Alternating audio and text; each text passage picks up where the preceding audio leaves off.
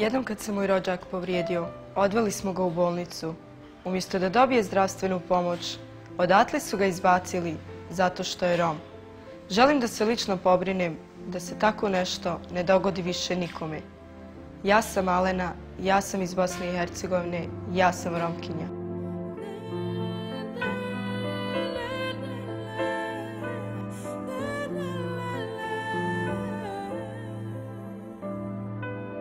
U mojoj generaciji ja sam prva koja je završila srednju školu. Tu priliku bih želela da obezbedim i drugoj romskoj deci.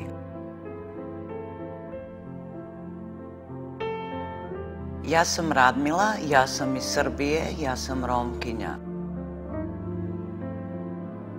Kao dijete željela sam kreirati odjeću. Danas to i radim.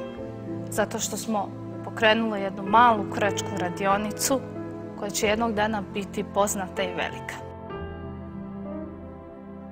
Ja sam Fatima, ja sam iz Crne Gore, ja sam Romkinja.